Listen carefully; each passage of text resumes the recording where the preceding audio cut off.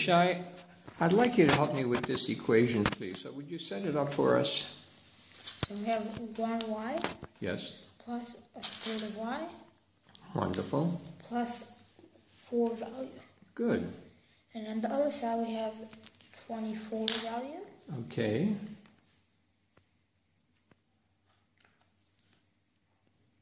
plus half of y. Plus half of y.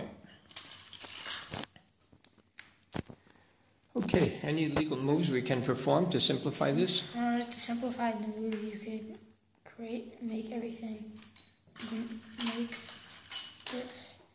You replace the yellow block by two red blocks. You could take a red block away. Good.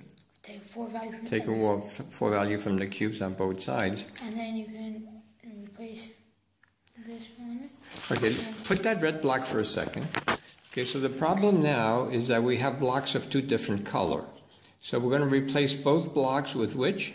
Uh, green box. Okay, how many green go into the, how many sixth blocks go into the half? Three. Okay, Replace this one. Three over here. yes, and here, Two. two green blocks go into the third. Okay, so at this point, on one side we have a value of 20 for the constant, and what do we have here? Five sixths of y. 5 sixths of y is 20, so how much is each sixth of y? Uh, four. Each sixth of y is 4. You have 5 of them, so each one is 4. Okay, pull down the scale a little bit. So each sixth of y you said is 4. Okay, please place a 4 there. Good. Now, if a sixth of y is 4, how much is y? Twenty-four. 24.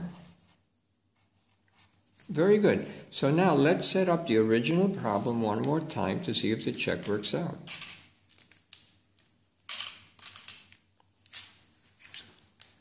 Okay, so we have to set it up one more time.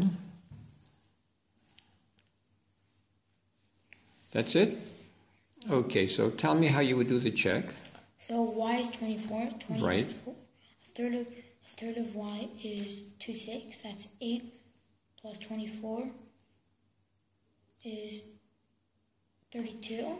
32 plus 4 is 36. Okay, please write 36 equals over here. And what do we get on the other side? And 10 plus 10 is 20, plus 4 is 24, plus half, which is 12, is 36. 36 equals 36. Okay, congratulations. Very good. And what grade are you in? Sixth grade. Sixth grade. Great.